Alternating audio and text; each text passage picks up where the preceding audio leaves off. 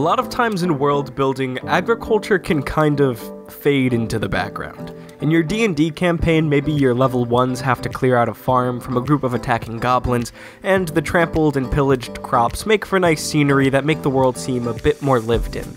For many world builders, this is as far as agriculture goes, and that's chill, no sweat. But in reality, agriculture is foundational to the development and differences in our civilizations. So today, I want to world build some civilizations in my Secret Lakes world building project and show how one can develop each society's character and interconnected world systems just from the viewpoint of agriculture. This video will be much more audio heavy than visual because I just spent two months editing a huge video and I'm tired.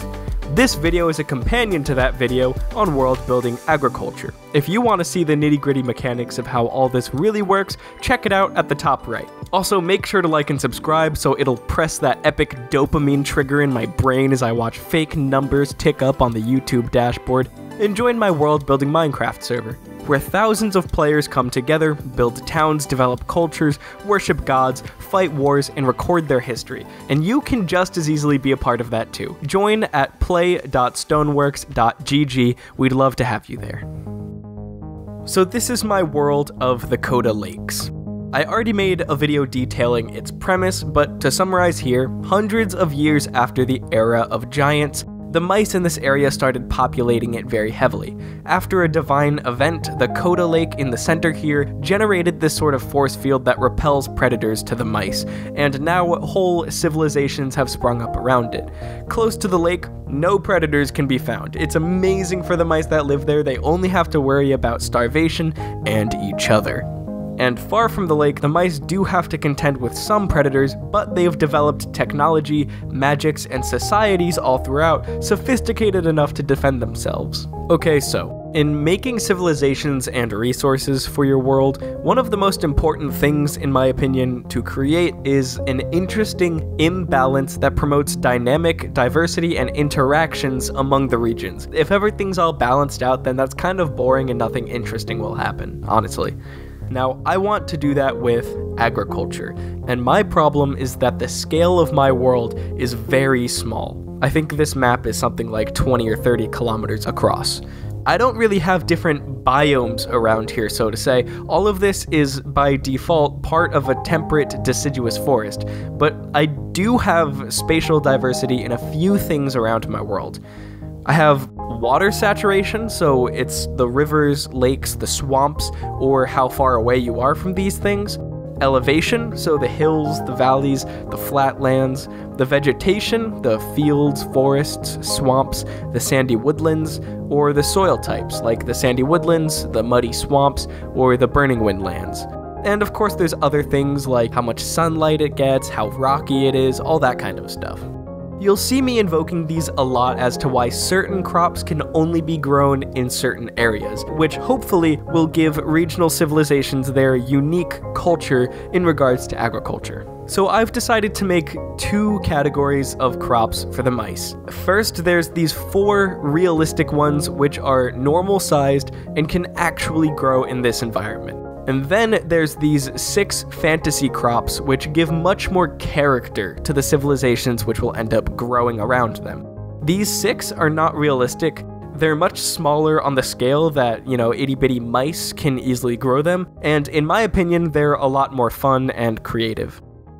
Starting with the four realistic regular crops. The four realistic crop types are regular sized, so it takes many mice to tend to them and protect them, but they produce pretty large yields once harvesting time comes. The reason I have realistic crops in here instead of just world building everything is so that one, it's more approachable in case I ever do like a book or like an animation about this. I can just be like, look, here's wheat, and then people will understand more about the world, and it'll be a stepping stone for people who aren't familiar with my content, but also because it's very fun and cute for me to imagine mice interacting with ordinary plants from our real world in creative ways that are foundational to their civilization. So the first regular realistic crop is just wheat. It grows in fields and open dry spaces, and it's used for food for the mice and maybe hay for their livestock.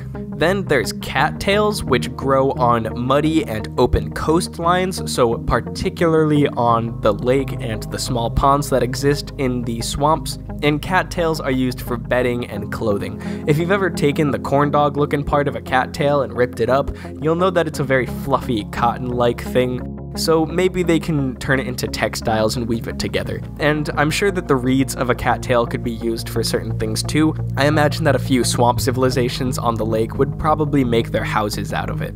Next, there's also a plant that looks like cotton on here with the icon, but the way that I'm imagining it, it's smaller and it's more feathery. It's not as fluffy and it's not as dense as real cotton is if you've ever felt a raw bushel of cotton seeds.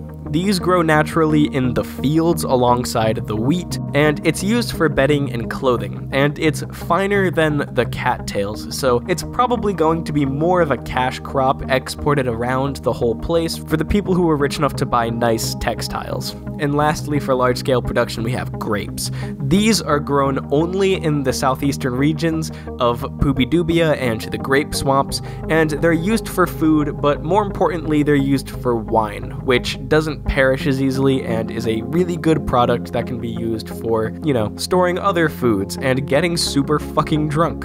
You know, these mice might have civilization, but I'm sure that they love to have a good time too.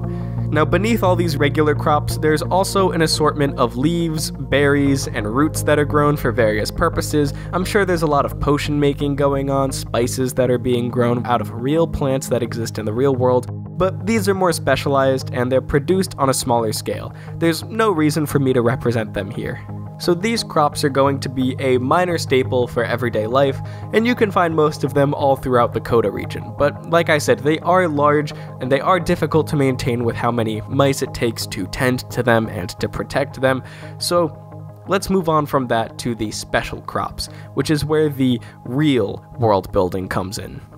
The first special crop is probably the most widespread throughout this region. It's this low and earthly bellroot moss right here. The mice grow it for these rhizoid roots that have the large, spongy nodules on them. If you look closely at the icon that I have here, you can see them. These are a staple food for many of the mice that live in the sandy woodlands and the hills.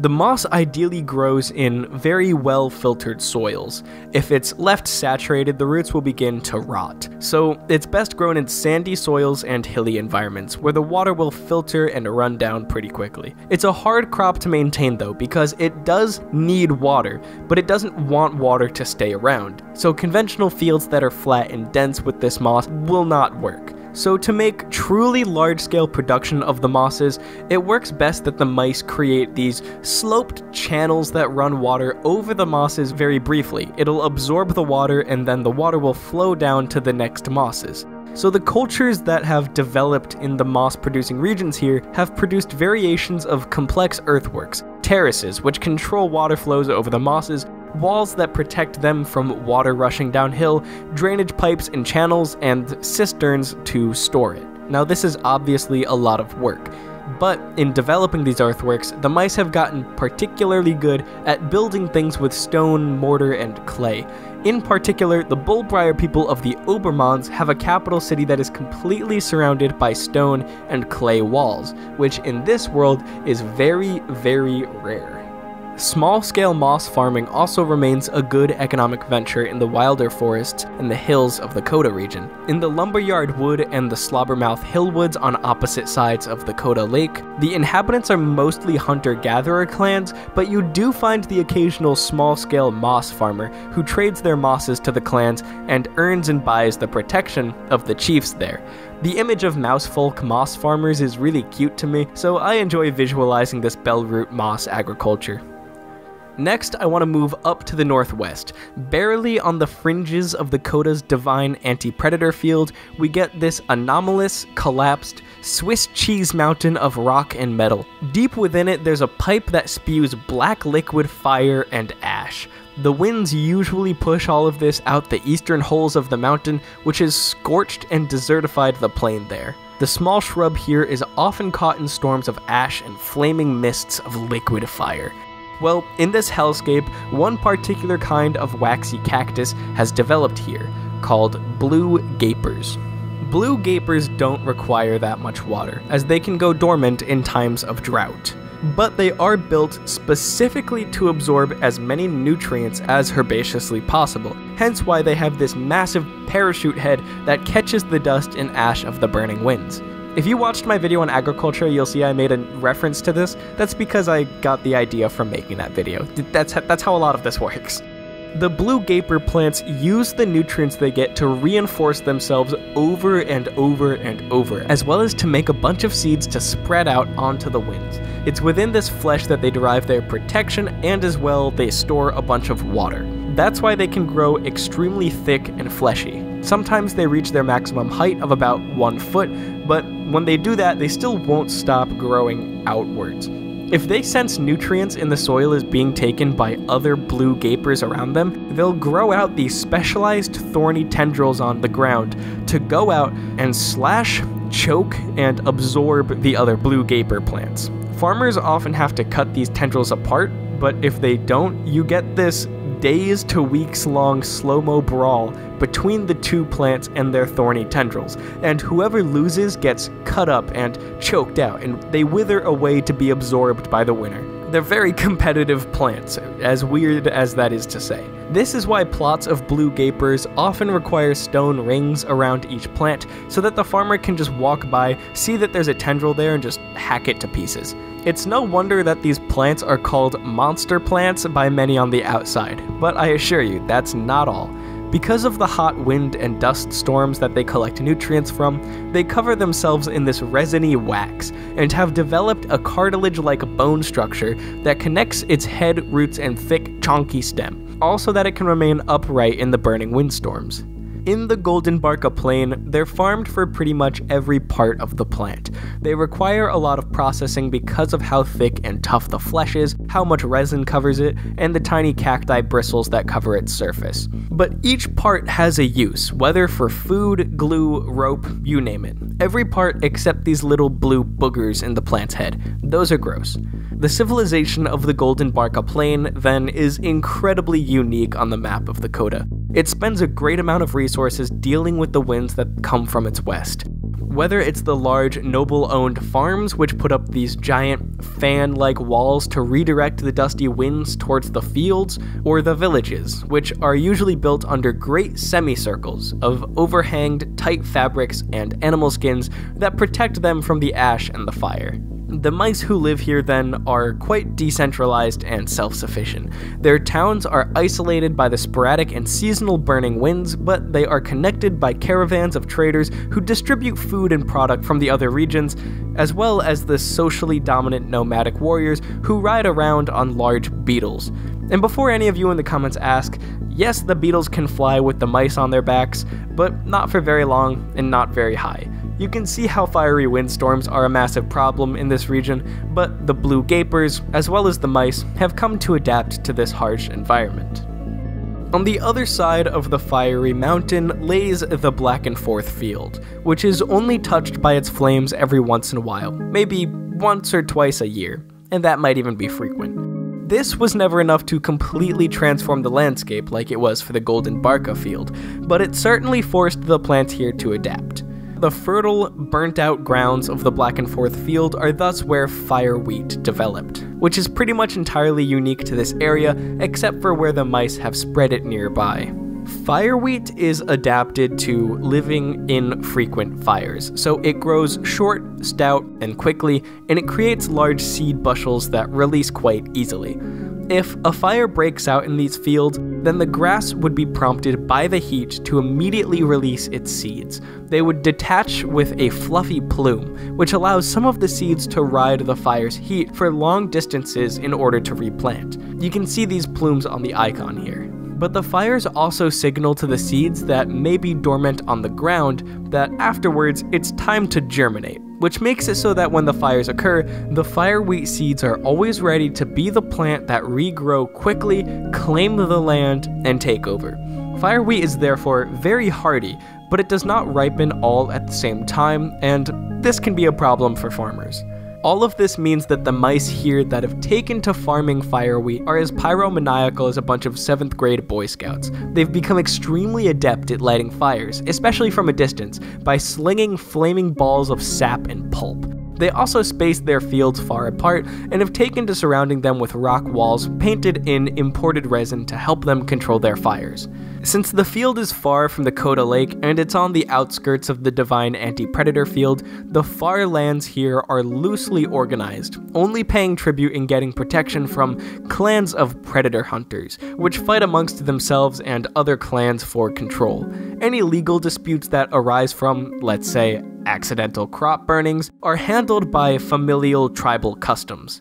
Now, the more south you go for fire wheat cultivation, the more centralized and normal the kingdom structure becomes, as the threats aren't predators as much as they are the other armies of mice. Either way, though, the fire wheat is an important staple crop that is sought after and exported all throughout the Kota for its taste and hardiness when it comes time to store. It's a good thing to have in the winter. Next up is probably the most important staple crop for the majority of the population of the Kota Lakes. This lily pad looking dude is called a flood flower, and it's farmed for its seeds. Flood flower grows in shallow pools of muddy water, so of course it does well in the swamps around the region's many streams and rivers, and it's common to see pockets dug out of the riverbank to create a water hole that's dense with flood flower on top. However, the problem is that the seeds of floodflower start growing as early as its leaves develop, and when floodflower gets disturbed by running water, are often taken off and dropped, or they're swept downstream. So, flooding, rushing water, and even heavy rains can be extremely dangerous to floodflower crops. The farmers have to create elaborate hydraulic works to ensure that their crop isn't flooded out while balancing the amount of water that the crop likes. Birds and other pests are also a big deal because the seeds are growing since the beginning, so oftentimes the pools and individual plants are covered in nets, so long as the farmers are rich enough to afford these, or they put a lot of stock into a single pool of floodflower crop. This is a lot of work, but flood flow is probably the most productive crop here. And even if one pool is ruined, that might just mean sifting through the mud beneath and filtering a bunch of the seeds out. Granted, that is one reason why it's better to not have your flood flower crop on the river, because the rivers, when they flood, often they take the seeds downstream and you can't get them. Some of the most urbanized regions of the Kota are where the flood flower grows in abundance, in the southern swamps and in the northern red wetlands. The southern swamps are incredibly saturated all throughout with water, and they are littered with isolated muddy pools that make for a perfect farm space. This has generated a society that farmers can often just go out into the wilderness and find or dig pools for their crops, which in turn makes the people much more independent and less willing to accept autocratic control of their society. What becomes a problem then is that at one point these lands will become filled up with farmers, and then maybe you get these rich people who start consolidating all the land and farming people, maybe they're working the land with slaves, and you get a huge labor problem in the entire region. On the other hand, the northern red wetlands is a wetland due to the streams that run through it, and it doesn't have the same large stretches of swampy land and muddy pools of the water.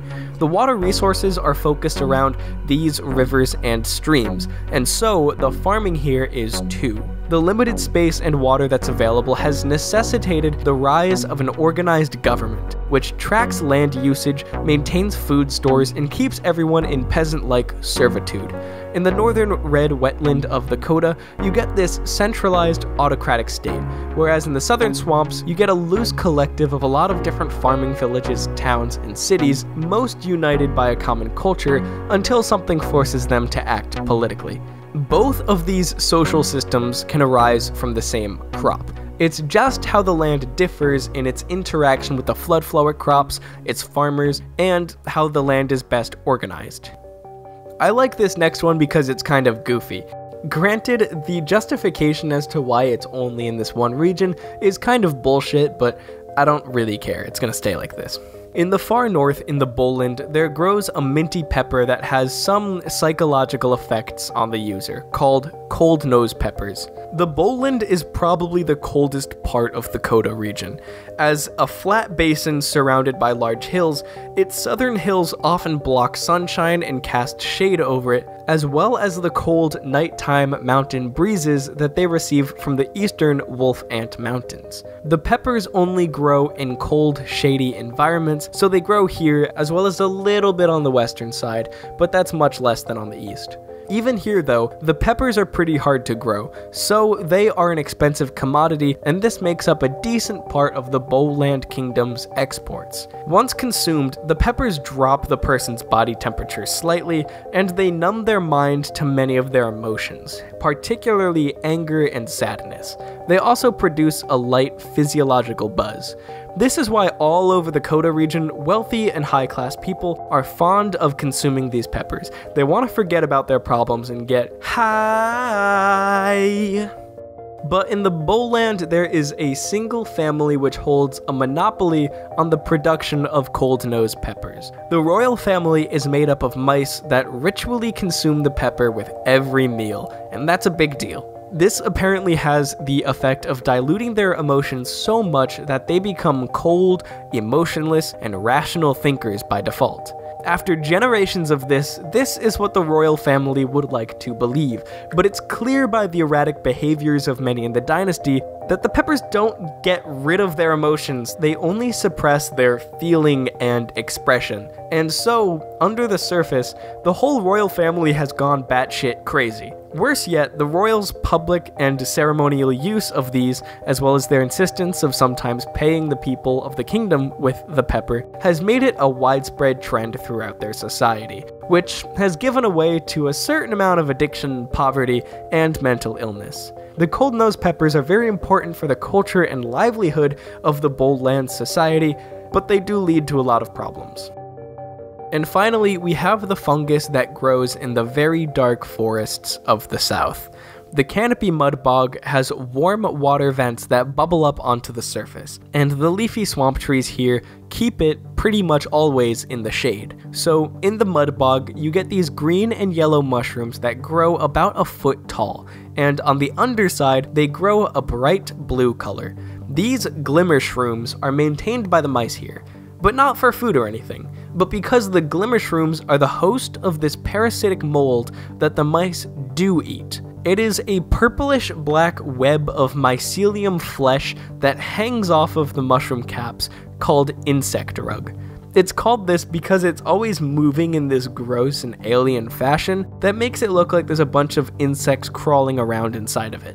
The insect rug is cultivated as a highly nutritional spice, which is often dried and ground up to be used on foods. It's also very salty and it helps to preserve any meats for long periods of time. The mice have to balance the insect rug cultivation with that of the glimmer shrooms, because the insect rug is parasitic and it has a tendency to creep into the glimmer shrooms and kill it from the inside. The problem is, though, most glimmer shrooms are part of large interconnected fungal networks that stretch for vast swaths of the canopy mud bog, and within these underground connections, the insect rug can creep its way to infecting massive crops of glimmer shroom.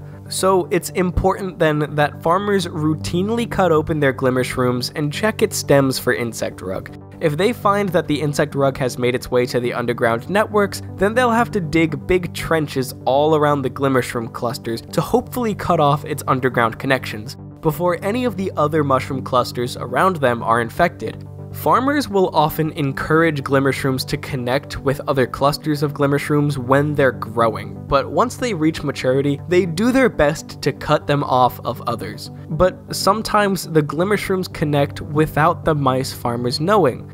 Because of this, it's important that farmers destroy any glimmershroom fungi which they stop farming off of.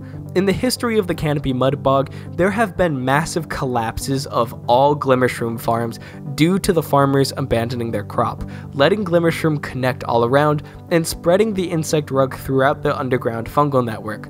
A farmer that walks out to the dark field would expect to see blue, glowing mushrooms in the shade, but instead would find withered and dusty glimmershrooms which are not useful to harvest the insect rug from or to grow.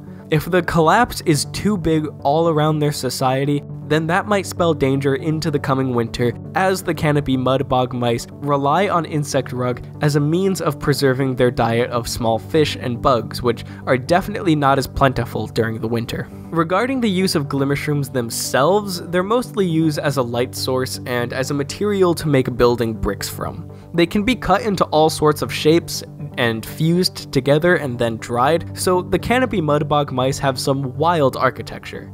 Like I said though, the insect rug is the important part. That's the moneymaker, they ship it up the river into the Kota Lake, and it helps keep up the mudbog's year-round diet of small fish and bugs. But there's a lot of work and thought that goes into how to connect the glimmershrooms and then peel them off of each other in a way that prevents societal collapse. What we get then in the Canopy Mudbog is a culture that reinforces a lot of working together in communication, but slipping up can be catastrophic.